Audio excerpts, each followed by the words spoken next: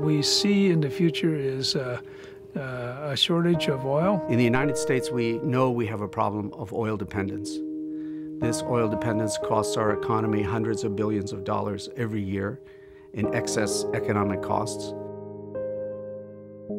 The difference between the plug-in hybrid and a conventional car in terms of using gasoline, for example, and the efficiency of using gasoline, is that uh, the plug-in hybrid uh, gets twice the fuel economy of uh, conventional cars. We also have a problem of greenhouse gas emissions. Um, our transportation system uh, alone produces more uh, greenhouse gas emissions than any, any country in the world except China. Obvious question that comes up is, um, is an electric car really more efficient um, does it really produce less CO2 over its over its full driving cycle, you know, well-to-wheel uh, um, energy consumption than a gasoline car or other technologies that are on the market, or is it just move the problem to the power plant?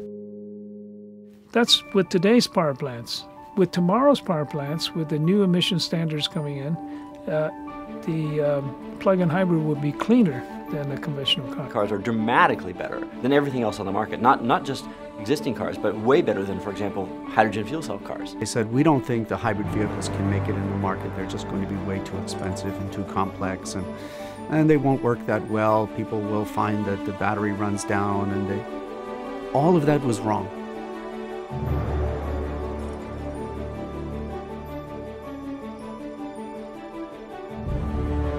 We're developing cheaper and better motors and controllers.